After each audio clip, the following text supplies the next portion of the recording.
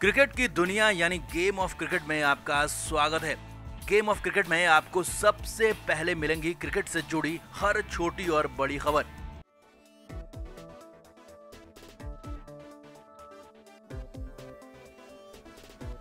M S Dhoni इन दिनों अपने look को लेकर खासे चर्चित हैं। लॉकडाउन में धोनी रांची स्थित अपने फार्म हाउस पर ही हैं और वहाँ अपनी बेटी जीवा के साथ खूब टाइम स्पेंड कर रहे हैं। और वाइफ साक्षी धोनी के वीडियोस अपने सोशल मीडिया अकाउंट पर शेयर कर रही हैं।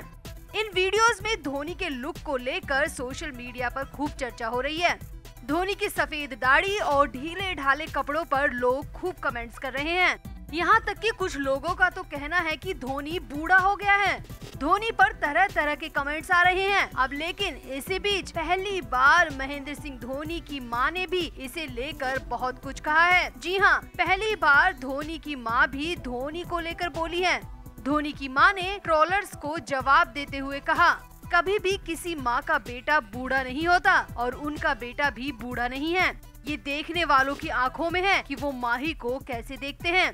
यही नहीं, धोनी की माँ ने ये भी कहा कि उनका बेटा अभी भी सक्षम है और अभी भी बड़े से बड़ा काम कर सकता है, इसलिए उसे बूढ़ा कहना गलत होगा। अब वैसे भी माँ के लिए अपना बेटा हमेशा बच्चा ही रहता है और इस बार धोनी की माँ सामने आई और उन्होंने भी ट्रोलर्स को करारा जवाब दे दिया। तो आपका क्या मानना है? धोनी की माँ को लेकर आप भी कमेंट ज़रूर करें और वीडियो को भी शेयर करें।